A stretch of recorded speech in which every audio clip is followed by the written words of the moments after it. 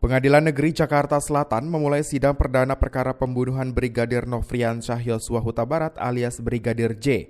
Agenda sidang kali ini adalah pembacaan surat dakwaan oleh Jaksa Penuntut Umum terhadap terdakwa Ferdi Sambo, Putri Chandrawati, Bribka Rike Rizal, dan Kuat Ma'ruf.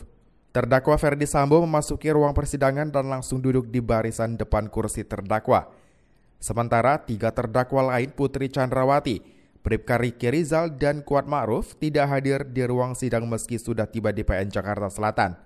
Dalam ruang sidang juga sudah hadir 16 tim jaksa penuntut umum.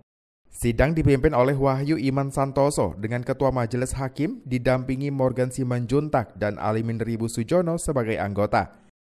Kelima terdakwa itu diduga melanggar pasal 340 KUHP, subsidiar pasal 338 KUHP, jungto pasal 55 ayat 1 ke 1 KUHP, jungto pasal 56 ke 1 KUHP.